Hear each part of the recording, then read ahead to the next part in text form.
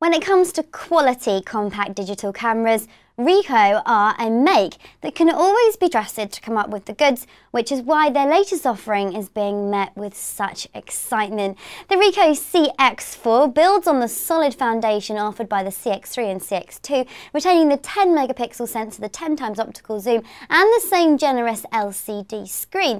It also keeps the 5 frames per second burst capability and HD movie function, but the new model adds a few new features worth taking into account. First up, there's improved image stabilization and Ricoh also added a new autofocus tracking feature to make sure that even moving subjects always come out crisp and clear. There's also a new night mode and the body has now been resculpted to even higher levels of perfection. The CX4 is out in September, so in the meantime, why not check out all the digital cameras available now here at Purely Gadgets.